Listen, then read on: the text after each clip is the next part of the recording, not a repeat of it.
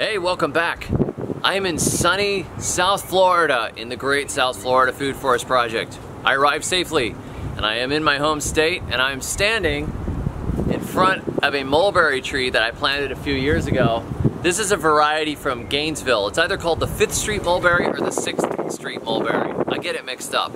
But uh, right now it's in dormancy. So I want to show you two mulberry trees and how much fruit one of them is making and talk about the relative merits of both and what I plan to do with them. This is the variety from Gainesville. This is a full-size black mulberry tree and it was discovered in Gainesville and propagated by the Edible Plant Project, which if you guys up there haven't checked out, you should check that out. It's a cool project. But right now it's in dormancy and you can see it's really sleeping. And the nice thing about a big tree like this is that it produces a lot of fruit. Bad thing about it is that it produces a lot of fruit where you can't actually reach it. So this thing needs a good pruning and that's my plan is to prune it down while I'm here. Kind of get it back under control. And you can prune mulberries very heavily and it'll work well. This second tree right here, even though it's uh, coming up on 20 foot tall up there, is actually a dwarf ever-bearing variety. You can see this guy here. Look at this. It is in fruit now, right in the middle of March, towards the beginning of March.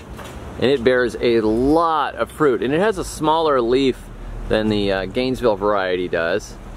But the kids totally, totally love these things. And it's, and it's just gonna drop fruit all the time. This is dwarf everbearing. This type is all over Florida. It's been propagated extensively. I used to carry it in my nursery. It tends not to fruit very much the first year or two and then it starts to really take off. And you can keep it small at about hedge size. You know, it's it may be a dwarf, but it's not a dwarf, dwarf, dwarf. You really have to keep on top of it and prune it. It has a smaller growth habit than a full size, but it needs uh, it needs a little extra care to keep it small. This is another one I probably prune, but I'm gonna wait until after it fruits because there is a lot of fruit up there. Might have to get a ladder and pick it. I feel bad when he's not here. You get some black ones off the bottom? Good job. I have my nieces and nephews with me today on Mulberry Patrol.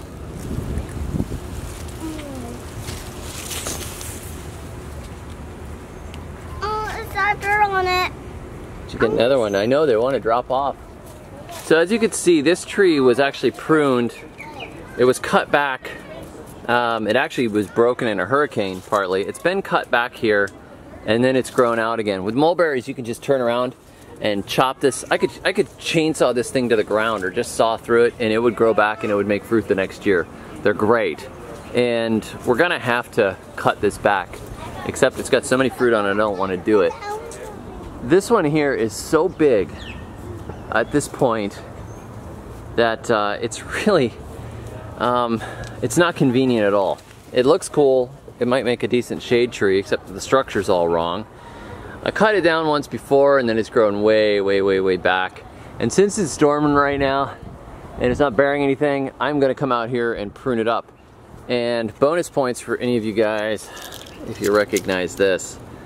The most poisonous plant in the world, debatedly. Debatedly, is that a word? Anyhow, catch up with you guys soon. I'll give you a full tour of the food forest soon. Be sure to catch me at the Homegrown Food Summit, and if you want to catch me at the South Florida Food Forest Project on the 16th, I will be doing an afternoon session. The morning session is full, but I'll put a link below the video. Thanks for watching. Until next time, may your thumbs always be green.